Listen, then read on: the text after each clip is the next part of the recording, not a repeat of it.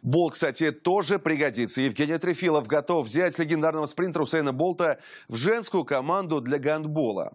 Ходят слухи, что легендарному спринтеру не придется делать операцию по смене пола, достаточно будет легкого макияжа а-ля Рюс.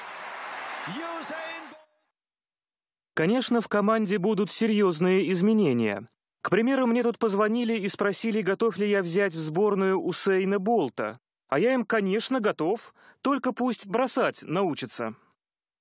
Также специалист выразил готовность продолжить работу с национальной сборной. Если вы приехали потренироваться, пожалуйста, без меня тренируйтесь.